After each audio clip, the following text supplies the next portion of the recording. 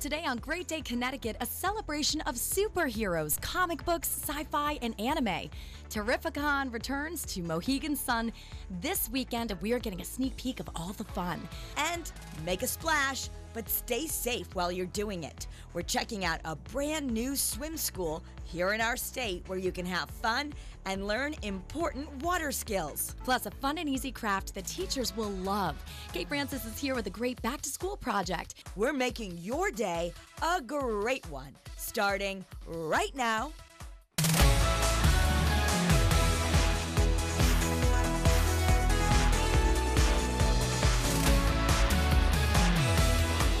Good afternoon, everyone. Welcome to a great day, Connecticut. I'm Kara Sundlin. It's the ladies' edition. The ladies' edition, yes. The lunch ladies continued. Yes, yes. It's part two. Uh, Scott has picked the, you know, he always talks about the top 10 days of the year. Well, he's picked the, the top week of the year to I have on vacation. I so know. good for him. Although we were texting because both Scott and I have the same habit. We listen religiously to CBS News 880. Maybe if you maybe you guys so do on the way at 880, uh, the AM radio, and that's how I get my news as I drive to work. Has been for years. Mm-hmm. Yep. And they're not going to do it anymore. Come September, there's going to be no CBS News 880. Yep, over 50 years that they've been putting that out, right? Well Right. over 50 yeah, years. Marla Diamond. I know. And- Harley Carnes. Yes, yes. Fran these- Schneidau, God rest her soul. all these, all these names, household Legends. names, legends, absolutely, out of New York. So They're um, just going to really make it an. ESPN sports, 24-hour sports channel. Okay, and 1010 wins will still be in existence. Yes, I didn't even realize that they own 1010 wins Yeah. too. But I will say a trick, and I know it's just a changing times. I mean, when I mentioned this in the newsroom, there were plenty of people who said, "What's that?" But so it, it, I feel bad for what's happening um, to AM radio. However. Uh, I'm sure part of it's streaming because you know now with Mm. Apple Music, I just say, "Hey Siri, play CBS News," Right. and it plays uh, wherever I am without a signal the 24-hour news that CBS puts on. So, but I just want to Mm-hmm. Yeah. anyway. um, We're thinking of you, Fellow Harley journalists, Carnes. right? You've been our soundtrack to our mornings for so long. well, hopefully we'll hear some of them still on 10-10 wins. I know Marla Yeah. Diamond crosses over on both. Yeah, so too, maybe they're just going to keep their, we're just only going to hear it there. Yeah, Okay. let's hope. 10-10 wins. You give us 22 And minutes, Greg we'll give you the world. All right, the singer uh, who rose to fame is Hannah Montana, now the youngest person to be named a Disney legend. We're, of course, talking about Miley Cyrus. She was teary eyed as she accepted the honor to a standing ovation over the weekend at the D23 Fan Expo. Oh, good old Miley. Look at her. 31 years old now, Grammy Award winner. Um, she told the crowd of 12,000 that she's still proud to have been Hannah Montana.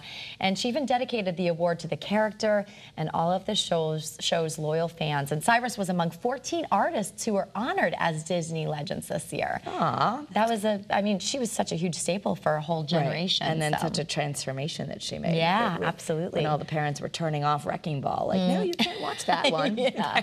Speaking of Disney, we're getting a first look at the Snow White live action remake. Yeah. Rachel Zegler as Snow White and Gal Gadot as the evil queen. Take a look. So, whistle while you work.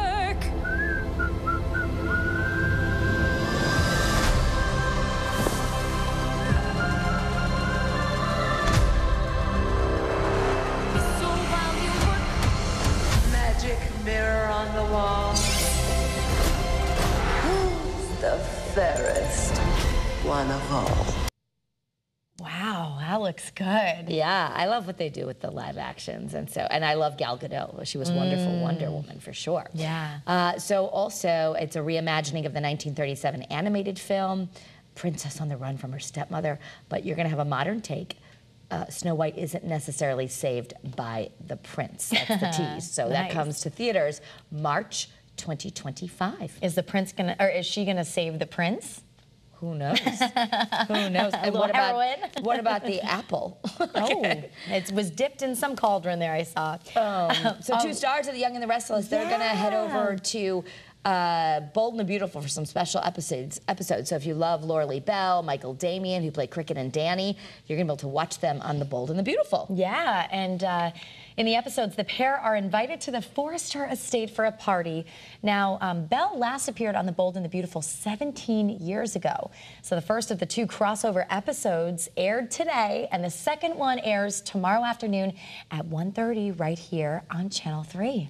That's right. exciting when It those crossover episodes take it place. is. Well, it's funny because uh, behind the scenes, you know, they're all friends because they eat in the same lunchroom. Oh, really? Yes, They when I went the out there to cover? Bold and the Beautiful, they we went to the uh, Eric Budney, our photojournalist, and I. We, uh, actually, it was Peter McHugh. We went out there, we got little sandwiches, and then like they all just come and get their lunch in the same Wow. place. Yeah, the studios are right next to each other, so they just have to walk next door.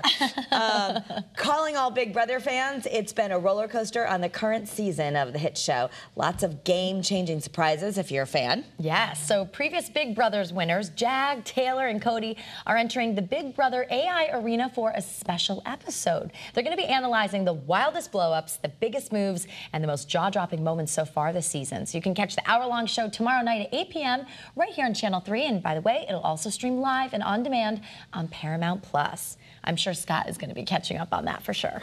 yeah, yeah. He, he, he said he would need like now it's three days a week, so he said it's a big time commitment. it really is. Um, but anyway, when we show you, hopefully you're enjoying it. And a big screen biopic about the life of Anthony Bourdain So is in the works.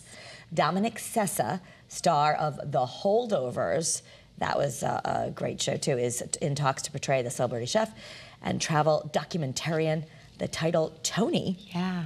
It's Yeah. unclear what period of Bourdain's life the biopic will cover, but Bourdain rose up in the New York City culinary scene, and his book, of course, Kitchen Confidential. Which made me never Oh, want to have brunch again. Know, right? He was like, basically, Or fish. brunch is all like, or swordfish. Fish Yeah, on don't eat swordfish. don't get brunch. yeah. Um, but that was a bestseller book. My dad is a chef. I know he had it in his office and was inspired. And, you know, Bourdain inspired so many chefs out there and wannabe cooks um, with no reservations. He was on the Travel Channel, Parts Unknown on CNN. Um, and this was all, of course, before his tragic death in 2018 at the age of 61. By suicide. So sad. Yeah. I mean, definitely opened up a lot of talk about mental health, right? For Yeah. those who are those who are struggling, there is help out there for sure. And we have a great show on the way for your Tuesday afternoon coming up.